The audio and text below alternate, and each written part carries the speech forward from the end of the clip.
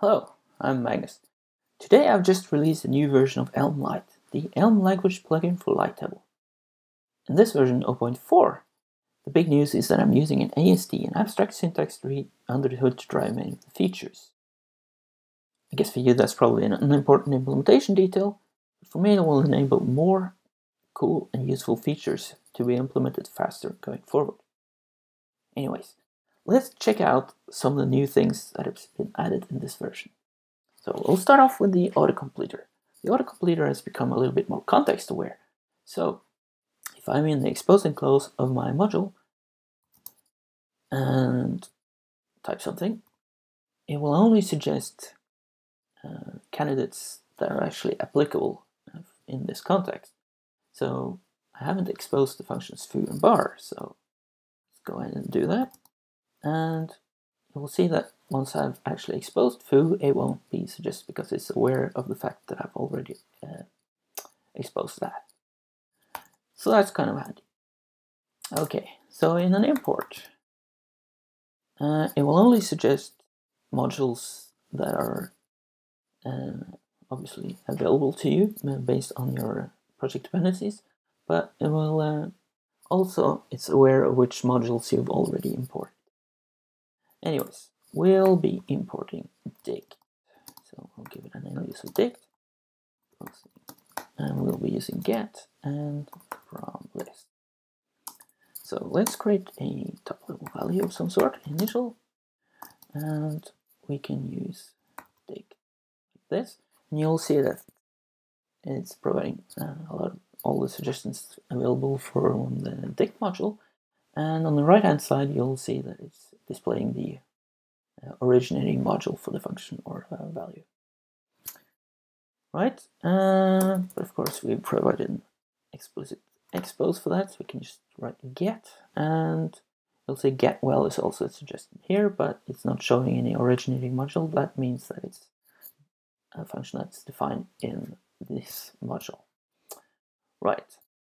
You also notice that there is no uh, type signature, which would have been handy, but they can get kind of long, so I didn't want the auto completer to sort of be too massive, so I opted not to show that for now. Um, so what you can do instead is just use the documentation feature. So toggle, sorry, toggle documentation at cursor. And that sh will show you the documentation for the function. So we can just leave that open. So get a and create a dictionary from a list like this. A, comma, some value, the A. And now we can close the documentation. And if I save now, it's configured to do auto linting. So let's see what that means. Well, it's missing a type annotation, so I can just add that. Right, so that's cool.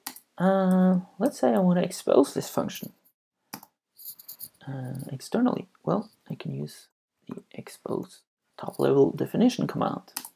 And you will see that it's added to top here in my exposing list. And you'll also notice that there's a tiny symbol here indicating that this value is exposed externally.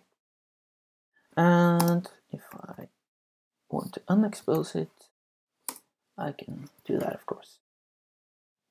Cool. That leads us to the next feature, which is an auto import feature. So, um, let's say I want to create a decoder.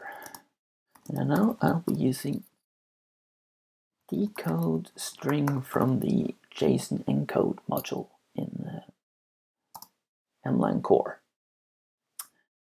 But of course, this wouldn't work because I haven't actually imported that yet. So auto import module is a command that will automatically uh, resolve that and import the JSON decode module and give it a prefix and give it an alias based on the prefix I've used. Of course, this doesn't work to wouldn't work if you did something a little bit more ambiguous like x.map, if I try the auto import module command now, it will provide a list of candidates.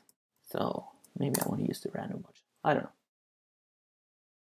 Okay, cool. Um, documentation. So I've shown you a glimpse of that already, but you can show documentation for your own functions. So toggle documentation at cursor. So uh, you can see the documentation for my own function like this.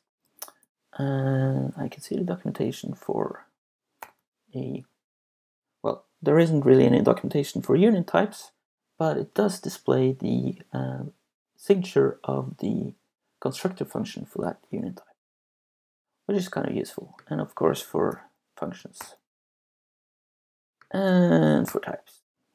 So that's kind of useful.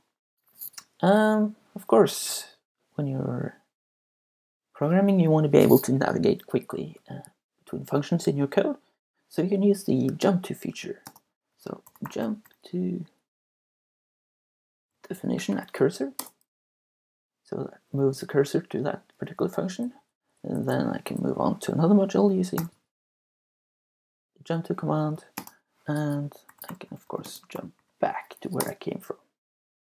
And this works for uh, types as well. And it even works for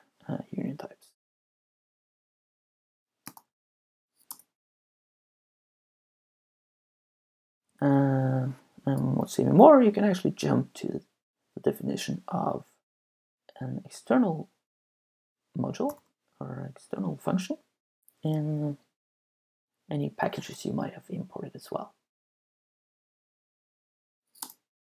So that might be useful if you want to check out the implementation of some third-party package function.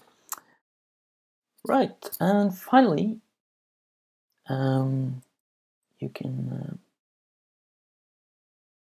you might want to look at where a particular function has been used. So let's check out the add function from module C. Where is that used in my project? Well, you have the find usages command, which will give you a list of all the hits where add, the add symbol is used, uh, grouped by a module. So you'll see that it's uh, actually also getting hits for comments and we'll get hits for uh, within strings and, and other stuff as well. So it's not totally narrowed down, but it's, it's still kind of useful. So you can quickly move between functions like this. And there's even a quick link here to move to the uh, originating uh, candidate token. Right, I think that's pretty much it. Um, if you want to read more about it, do check out the uh, the GitHub repository, which is at rundis uh, Elmlight. And here you'll find a link to the documentation for the plugin as well, which will help you get started. So there's a GitBook here that describes pretty much all of the functionality for the plugin. So hopefully you'll uh, find the Elmlight plugin uh, useful for uh, working with your Elm projects. And um, if you find any issues, do you report them at uh, the issue tracker on, on GitHub. And yeah, that's it. Thanks for now.